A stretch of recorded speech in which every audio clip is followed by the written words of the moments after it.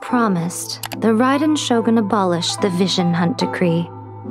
Finally, her people's wishes penetrated her locked heart. Beyond the plane of Euthymia, she saw what eternity means in the eyes of the world. When one's fervent ambition burns brightly, the gods will cast their gaze upon you.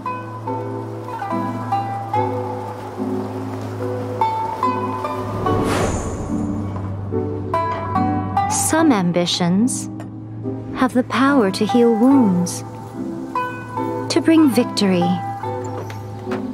to inspire hope.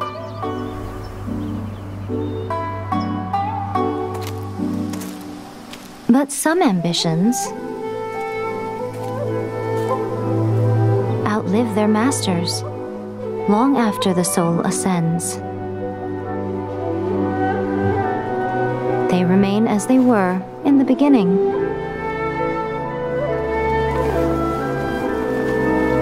Burning bright and true for all eternity.